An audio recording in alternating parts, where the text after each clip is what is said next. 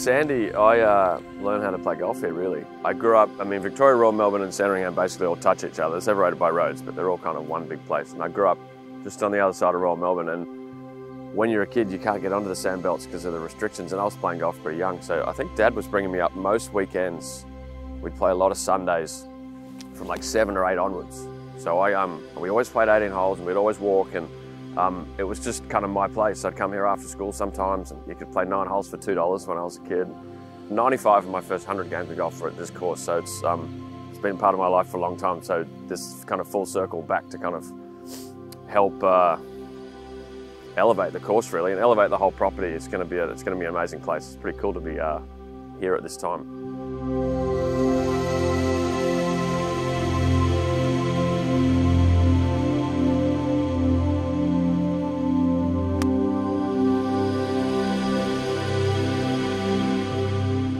We're sort of um, cherry picking the best bits of the sandbelt, really. So, I mean, the idea is that it's a sandbelt experience for the public golfer. Whilst there's not any par fives because it's a it's quite a small property, um, you know, one of the great things about the sandbelt are the short par fours and the par threes. So, and there's a bunch of them here.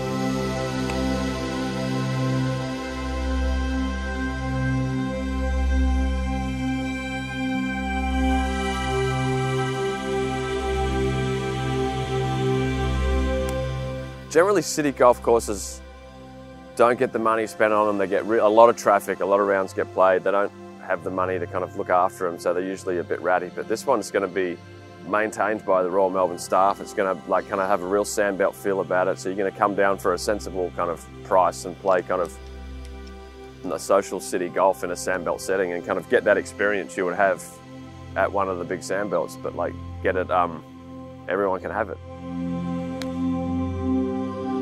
We don't have anything like this in Melbourne, not at this level, so it's going to be really good.